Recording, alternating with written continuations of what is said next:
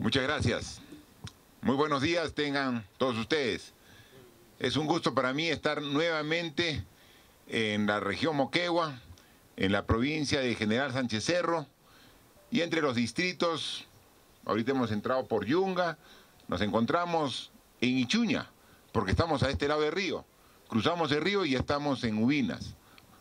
Y es decir, esta cercanía de territorios también manifiesta una cercanía de voluntades y de compromisos. Aquí estamos para desarrollar el Perú.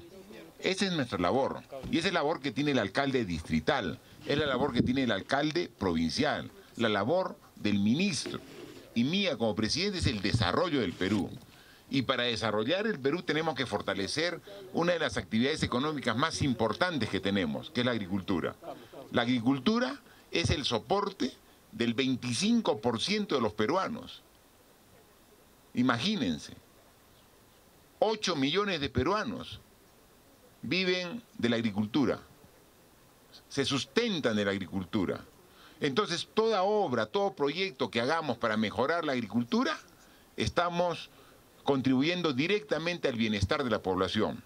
Como lo ha dicho el ministro, ya hemos identificado algunos proyectos de fortalecimiento y mejora del, desarrollo agrario aquí en Ichuña, en Ubinas.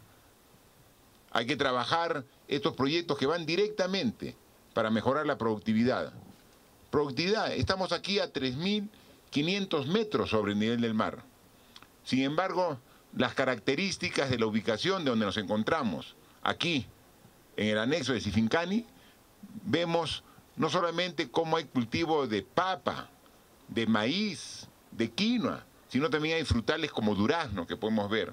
Zona productiva, zona rica, que tenemos que darle mayores facilidades, poner la tecnología, el financiamiento, tenemos que darle la infraestructura hidráulica para mejorar.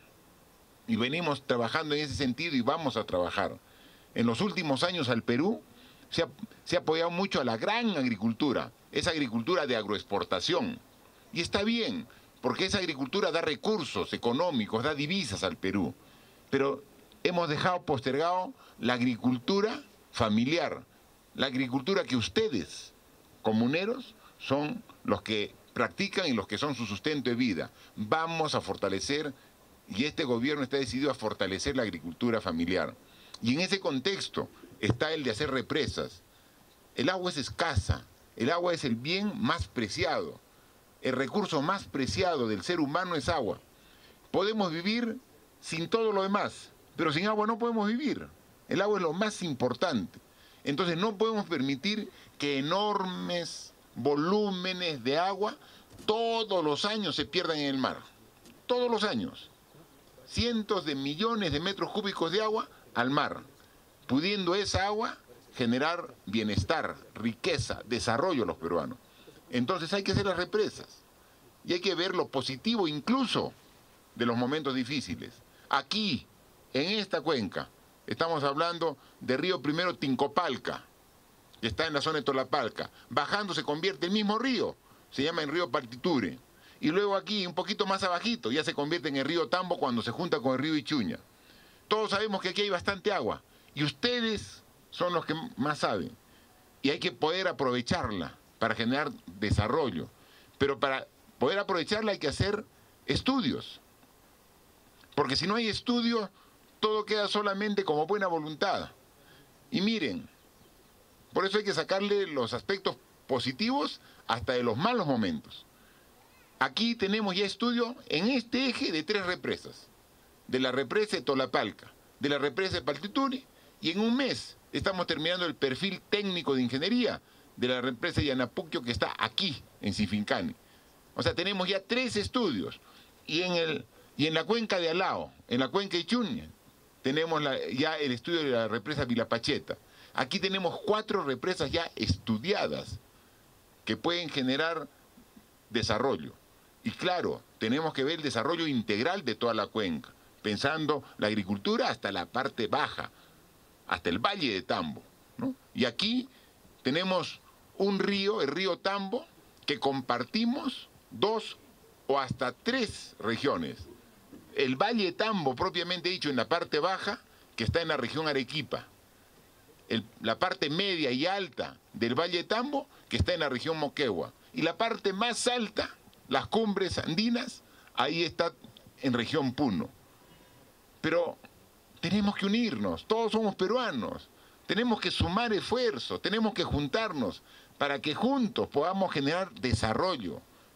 Tenemos que dar, el Valle de Tambo tiene problemas de recurso agua, a pesar que hay tanta agua.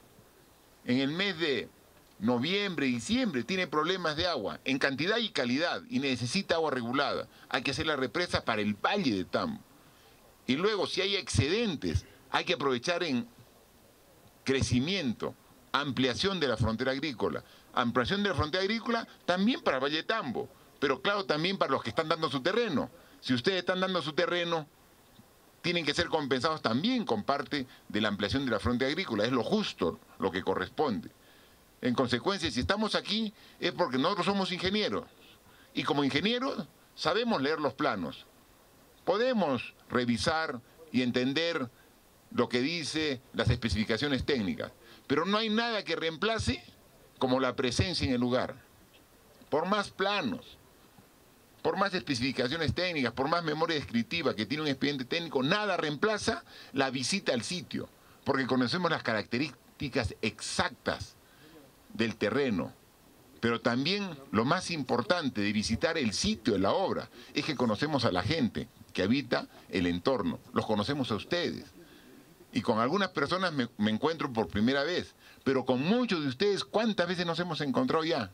En Ubinas, en Ichuña, en Tolapalque, en Paltiture, porque hemos recorrido innumerables veces estos lugares, porque es la forma de hacer desarrollo, conocer el país, conocer hasta los sitios más lejanos. Sí, pues, esta represa va a solucionar el problema del Valle de Tambo en Arequipa, sí, va a solucionar. Pero como somos solidarios aquí, se va a construir, se, va a dar. Y también va a dar beneficio al área de influencia directa. Y también va a permitir que se puedan hacer otros proyectos de generar desarrollo. Y así juntos crecemos y progresamos.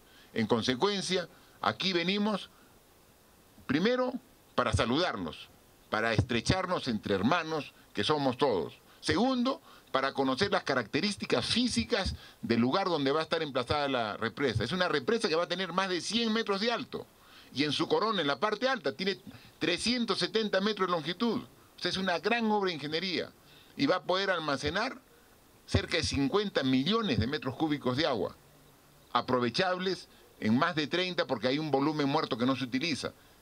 Todo eso hay que decirlo, hay que informarlo y hay que decir hasta dónde va el embalse, qué va a afectar para directamente ya comenzar a trabajar con las personas que son afectadas, con respeto, con transparencia, dar la información, que no hay nada oculto. Lo peor para la confianza es ocultar las cosas. Aquí hay que poner el estudio con total, porque aquí mismo, comuneros o hijos de comuneros son abogados, son ingenieros que perfectamente pueden entender todo lo que se está haciendo. Hay que darles a ellos para que vean que estamos obrando con transparencia para que este proyecto no se quede a medio camino una vez más. Este proyecto sí va a salir adelante. Esta, represa de Anapuquio sí va a salir adelante. Este año 2020 la vamos a licitar a través del Ministerio de Agricultura y le vamos a dar el presupuesto que necesite. Y con esta represa vamos a solucionar los problemas que tiene el Valle Tambo en Arequipa y también los problemas de desarrollo de las comunidades del entorno que están identificadas, que son cinco. Van a ser atendidos juntos. Generemos desarrollo y progreso para todos ustedes.